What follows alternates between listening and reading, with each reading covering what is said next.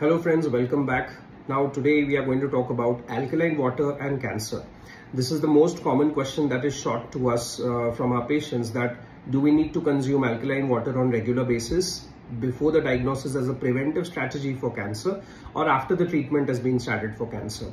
So once upon a time, what happened is some scientists discovered that the cells of cancer do grow in the acidic environment, but that does not mean they do not grow in the alkaline environment as well. And from here, the concept came of turning your uh, acids, the body acid, the stomach acid and your blood into the alkaline pH. Now what is basically the alkaline pH? The alkaline pH is any pH that is more than 7 which is the neutral pH of the body.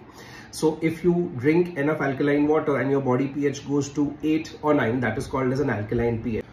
So in fact, there are no studies that claim that alkaline pH is safer for the uh, for the body and it does not cause any type of cancer to the body. This is a complete hoax and most of the companies do sell on alkaline water for the benefits of their business, but it does not have any benefit as far as cancer is concerned of the body. Yes, drinking alkaline water can definitely help your GERD or acid reflux, but it does not cure anything as such in the body.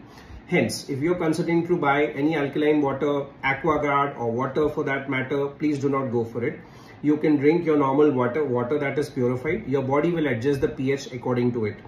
Uh, drinking excessive alkaline water can cause excess nausea, skin irritations, and it can also lead to kidney failures. That is why alkaline water is definitely not recommended for any patient who is worried of having cancer in the future or any patient who is already on cancer treatment. Just consume normal water. Thank you.